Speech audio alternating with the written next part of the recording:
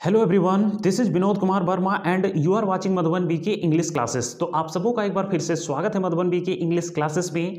आज मैं फिर लेकर आया हूँ आप लोगों के लिए एक बहुत ही महत्वपूर्ण वीडियो। आज के इस वीडियो में हम करने जा रहे हैं एक बहुत ही महत्वपूर्ण क्वेश्चन ये क्लास टेन का है और ये लिया गया है। चैप्टर हिज फ़र्स्ट फ़्लाइट से, ठीक है? तो मैं बता दूँ कि this is a very important question from your board examination point of view so watch this video till the end so that you can get good marks in the examination okay so let's begin तो चलिए शुरू करते हैं, देखते हैं question क्या है। देखिए क्वेश्चन क्या कर रहा है। Why was the young seagull afraid to fly young seagull जो था, वो उड़ने से भयभीत था। वो उसे उड़ने में डर लग रहा था। क्यों? Describe how the young seagull made his first flight या तो इस सवाल को ऐसे भी पूछा जा सकता है। Describe how the young seagull made his first flight की वर्णन कीजिए कि यंग सीगल ने अपनी पहली उड़ान कैसे भरा, ठीक है? अब चलिए इसे देखते हैं। देखिए, कैसे लिखेंगे। The young seagull was hungry and alone on his ledge young seagull जो था, ठीक है? वो अपने लेज यानी कि पहाड़ का, चट्टान का जो निकला हुआ भाग है ना, जहाँ उसका घोंसला था, वहाँ वो अकेला था और बहुत ज़्यादा भूखा था। कई दिनों से उसने कुछ खाया नहीं था। His two brothers and his sister had flown away the day before, but he had been afraid to fly देखिए क्या कहा था उसके जो ब्रदर्स और सिस्टर थे भाई बहन वो एक दिन पहले ही उड़ चुके थे लेकिन यह यानी कि यंग सिगल जो था उन लोगों के साथ उड़ नहीं पाया। उन लोगों के साथ उड़ने में इसको डर लग रहा था भयभीत था। हुँ?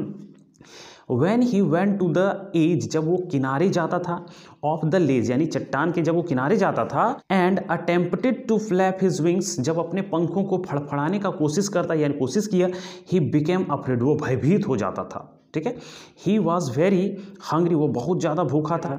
When he saw his mother tearing at a piece of fish जब उसने देखा कि उसकी माँ जो है, एक मछली का टुकड़ा जो है, वो फाड़ रही थी अपने चोंच से, ठीक है? He cried begging her to bring him some food वो चिल्लाया, मांगते हुए कि मुझे कुछ भोजन ला के दो। अपनी माँ से वैसा जो है बोला। She picked up a piece of fish and flew and flew across to him with it उसके बाद जो है उसकी माँ ने क्या किया? एक मछली का जो टुकड़ा है अपनी चोंच से उठाया और इसके चारों ओर वो उड़ने लगी, घूमने लगी। He leaned out eagerly trying to get nearer to her उसके बाद जो यंग सिगल है, वो क्या किया? उसकी ओर प्रवृत्त हुआ, वो झुका। उसकी ओर जाने का प्रयास किया इसने। उसके पास निकट जाने का कोशिश किया। चलिए आगे देखते हैं। When she was just opposite to him she halted देखिए क्या कहता है when she was just opposite to him जब वो सीधा इसके विपरीत था, ठीक है? सी हॉल्टेड तो उसकी माँ जो है, एकदम रुक गई मोशनलेस हो गई, है ना? नज़दीक नहीं आई। क्यों? क्योंकि वो चाहती थी उसको गिराना नीचे, खाई में, उसके नीचे बिल्कुल खाई थी और इसी वजह से वो उसके निकट नहीं आई।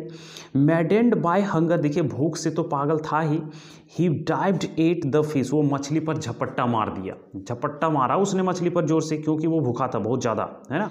With a loud scream he fell into space उसके बाद वो ज़ोर से चीखते हुए, चिल्लाते हुए एकदम सीधे नीचे गिरा खाई में, एकदम खुले जगह में he flapped his wings and soared upwards उसके बाद क्या? उसने नीचे जब वो गिर रहा था, उसने अपने पंखों को फड़फड़ाया और ऊपर की ओर उड़ने लगा। अब पहले तो वो हेडलोंग गिरा, लेकिन वो जो है, कुछ देर गिरने के बाद क्या है कि उसके पंखों में जब हवा लगी, उसके बाद वो उड़ने लगा। उसके पंख खुद से खुल गए और वो उड़ने लगा और इस तरह से वो माथे के बल सिर के बल नहीं गिर रहा था और वो धीरे धीरे उड़ना सीख गया था। His parents his brothers and his sister encourage him to fly उसके बाद उसके पेरेंट्स माता पिता उसके भाई बहन सब आए उसके इर्द गिर्द और उसकी प्रशंसा करने लगे सभी लोग क्योंकि उन्होंने उड़ना सीख लिया था। उसका जो डर था वो गायब हो चुका था। He was thrill to see the vast green sea beneath him उसके बाद उसने अपने नीचे जो है एक एकदम भास्ट सी देखा, वो अपने भास्ट सी को, अपने नीचे भास्ट सी को देखकर बहुत ज़्यादा रोमांचित हो गया था। In this way the young seagull made his first flight तो इस तरह हम कह सकते हैं कि उसने जो है इस तरह से अपनी पहली उड़ान भर लिया था। तो ये था हमारा आज का क्वेश्चन आशा है कि ये वीडियो आपको पसंद आया होगा, क्योंकि ये बहुत ज़्यादा इंपॉर्टेंट क्वेश्चन है। तो आपको अगर इसी तरह के सवाल चाहिए, जो कि आपके एग्जामिनेशंस में क्वेश्चन आएँगे तो बने रहिए हमारे साथ, या अगर आप इस चैनल से नहीं जुड़े हैं तो जुड़ जाइए, क्योंकि इस चैनल में आपको इसी तरह के इंटरेस्टिंग वीडियोस मिलेंगे, जो कि आपके एग्जामिनेशंस में बहुत ज़्यादा हेल्पफुल होंगे। So that's all for today see you in the next video thanks for watching this video